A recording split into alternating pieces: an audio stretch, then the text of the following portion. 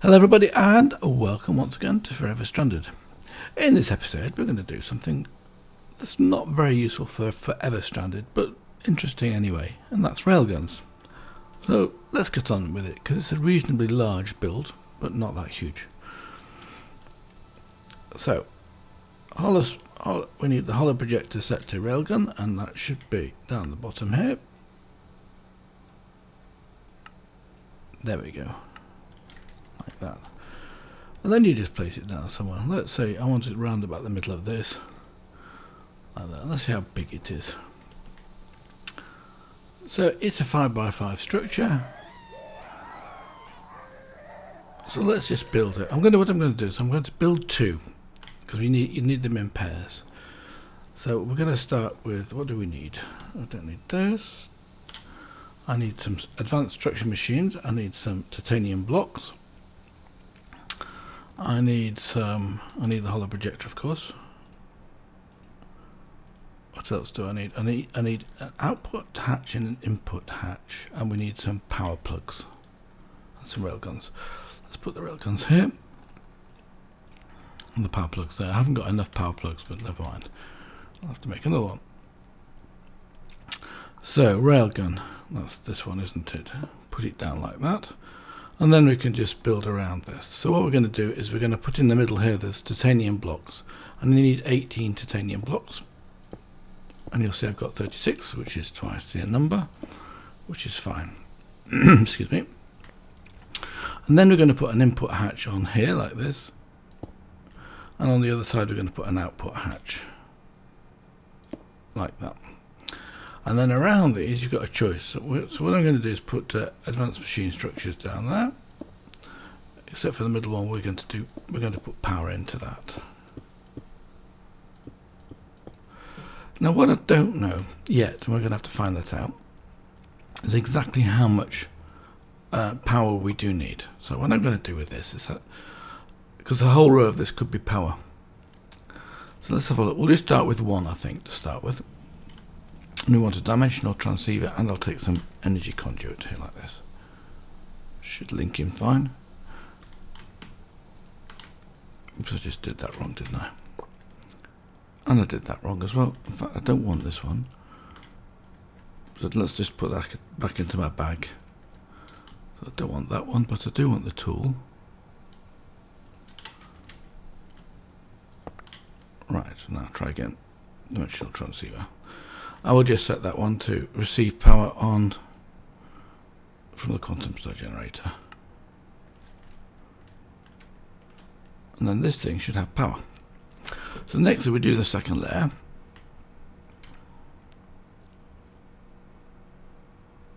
It's wrong way around. Right, here we go. And all I'm going to do is exactly the same thing. In the middle we, we've got titanium blocks, which I can't see where they've gone to. There.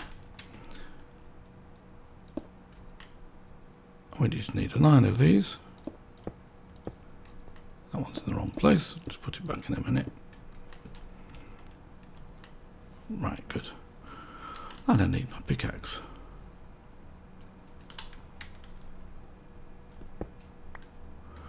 And then outside this, we're just going to put advanced machine structures.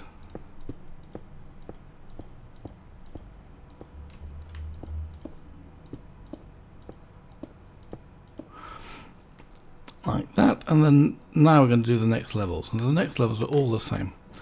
It's just copper blocks looking like this. So we need 27 copper blocks. I think I've got a few more than I need but it's I think is it 27 let's have a quick look because I've forgotten. Copper blocks we need 29 okay.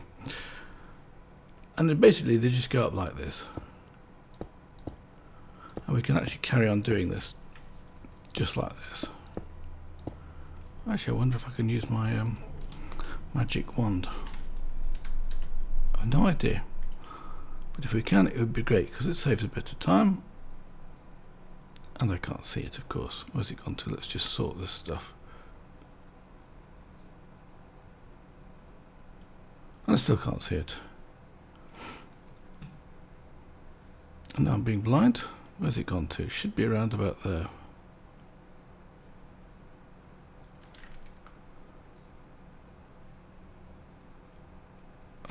Mind. I'll carry on doing it manually then. Ha! I have to put it somewhere else for a change.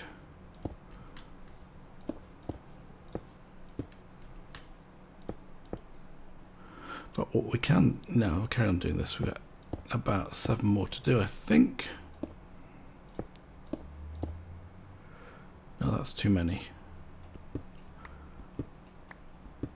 And if we actually take the holo projector, we should be able to see it going. If we actually lift this, go right all the way up to the top layer, we get a copper coil in the middle there, like that, and that's it.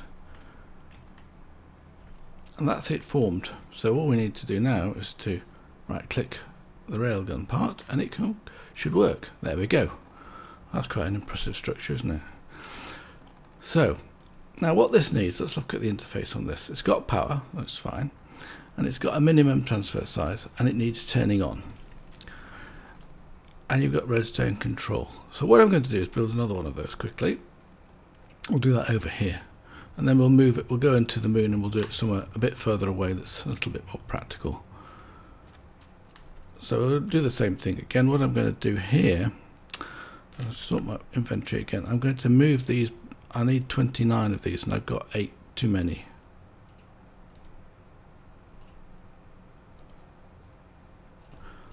Like that.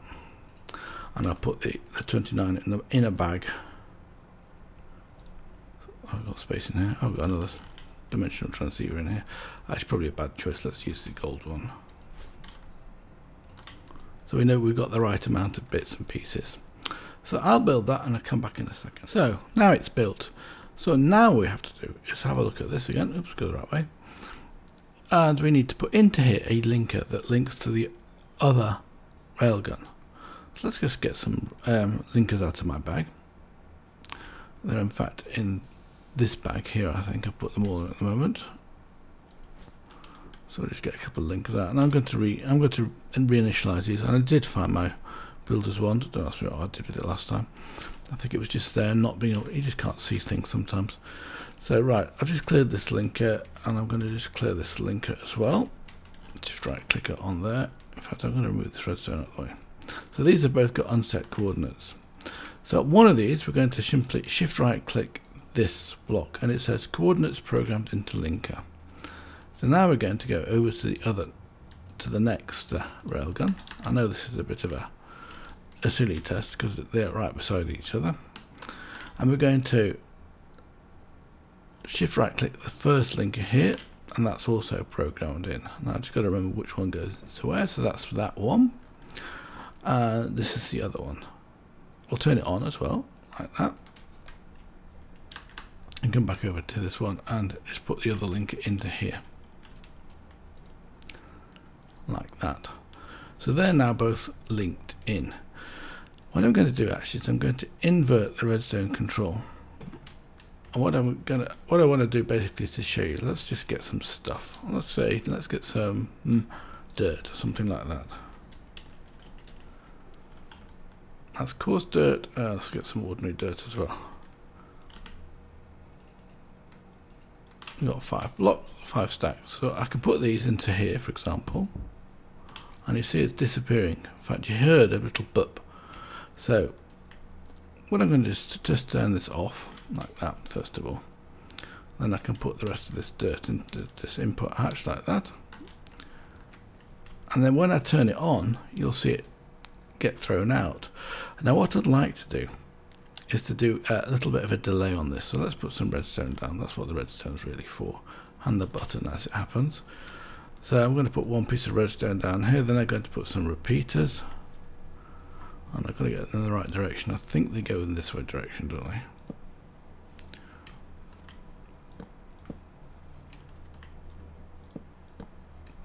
Like that, and I'm just going to take some redstone around here.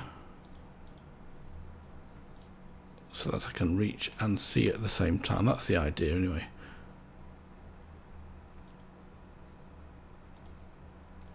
like that and I need a block any block will do I haven't got any block with me let's just take a block of cobblestone or something like that um, hmm.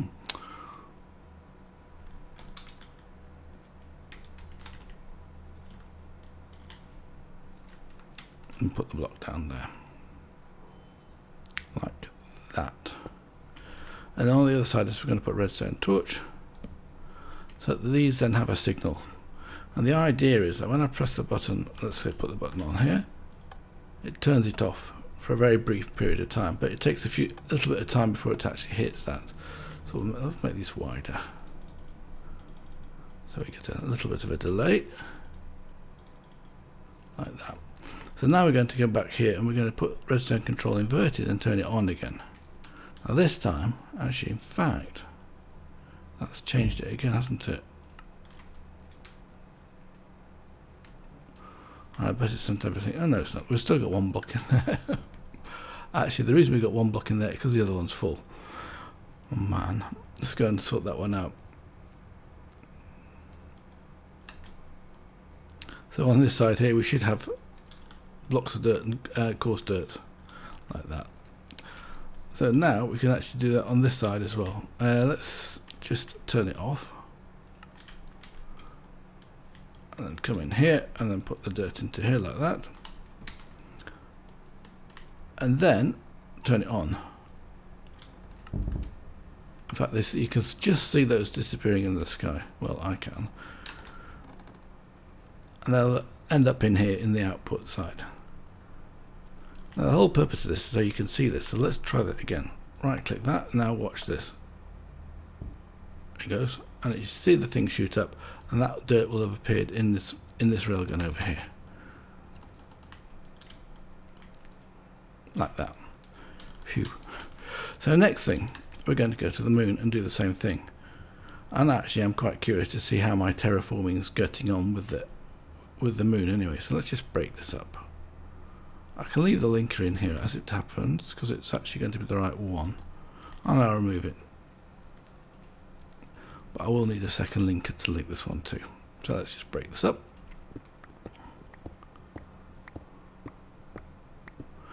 I'll, I'll do that. I'll come back when it's done.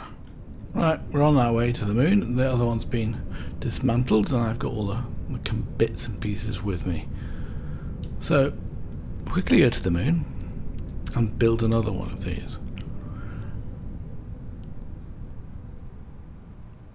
I put my helmet back on so I've got oxygen and you can also tell because I've got the display on the top left hand side. So we're at the top and as you may remember I've been terraforming the moon and it's taking, it takes a very long time and it takes a lot of gas and we're up to 0.19 atmospheres and once we get to 0.25 then it will actually start to be interesting because the biomes will start to change. Anyway that's that's running and it's all um, chunk loaded so hopefully it's carrying on loading as we come down. You should see it. And I haven't run out of gas yet. No I haven't. The gas is, takes quite a lot of gas. So let's just set up our, our device over here somewhere that's my holo projector. Should remain as things that well, shall we put it? Let's put it facing this direction here like that. And there we go. So I'll be back in it when I've done the record uh, when I've built this. No point in doing it all. Oh, I wanted to show you the uh, this does work. Let's see if we can get into a better position. We keep going up until we've finished all the blocks that makes life a bit easier doesn't it? And the last block goes in the middle here like that. If I can reach there we go. And that should then be formed. And we should right click this like that. So now we can then start to put things in. We've got the linker that's appropriate for this one which is this one here. So that should work. So we should be able to put an item in here and send it away. So let's turn it on let's take some cobblestone and see if that works here. And indeed it has worked sent it off. So now what we have to do of course is to finish this off we need to come back here get out here another linker. That's to the um, space station but I don't know which port it is so I'll use that one. Shift right click the ground that resets it to and the coordinates unset and shift right click this one so that's now programmed in so we can now go back to earth like this. And if you want to see this as well, while I'm here, let's have a quick another look into this because it's progressing. Gravity is too low. I should really build a gravity thing here, shouldn't I? You'll see that this has this sort of pretty chart as it as it's working along, and the oxygen's fine and the nitrogen's also fine. But it's working. And I think I've still got plenty of gas because I was gas mining like crazy.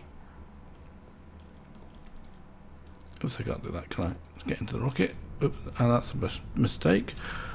Let me just select the destination to being Earth. I think it's too late now. Because the rocket will simply go up and come down again.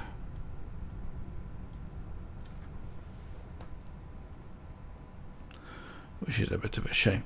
So I didn't need these um, extra plugs. So I can send those back to Earth as well, but I won't do that just yet. I'll wait till we come down again.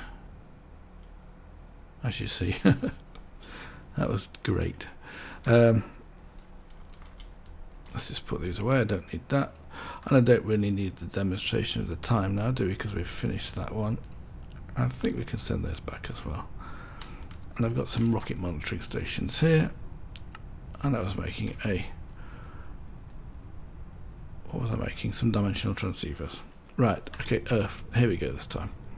I should really set up a, another space elevator here, shouldn't I? Well, there is a gravity controller. I could also bring one of those as well and increase the gravity on the moon.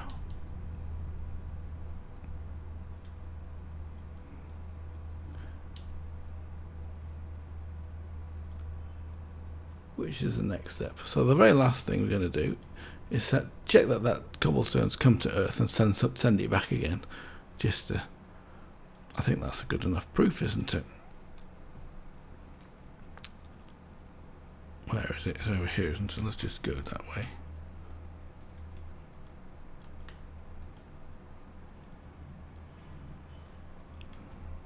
I always, I always like overtaking the rocket and watching it land. It's great fun.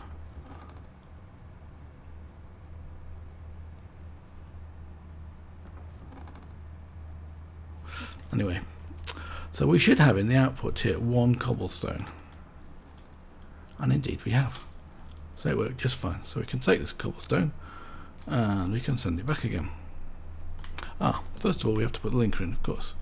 So take this linker out of here and put this linker in here, like that. So that says it dimension 2. Put the cobblestone in here, off it goes, little dot there, there's no clouds, no as you can see the actual smoke from the rocket staying there not getting blown away. So that's it. Where are we? Where's that thing?